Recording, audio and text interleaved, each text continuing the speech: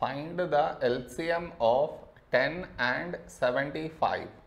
To find the LCM, for that we should frame it in this way 10 comma 75.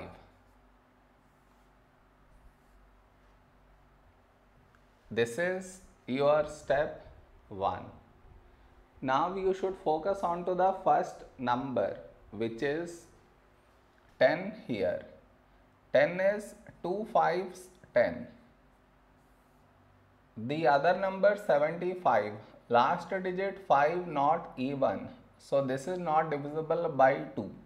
So you write it down as it is. Now here we have 5, 5 is a prime number so 5 ones 5.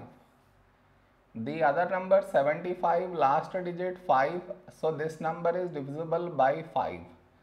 First number 7. A number close to 7 in 5 table is 5 ones 5. 7 minus 5 2 2 carried forward 25. When do we get 25 in 5 table? 5 5 is 25. Now we got 1 here. So focus on to the next number 15. 15 is 3 5s 15. Now here we have 5, 5 is a prime number so 5 ones 5. So we got 1 in both the places.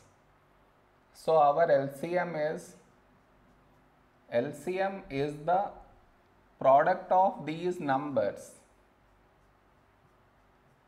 that is 2 into 5 into 3 into 5.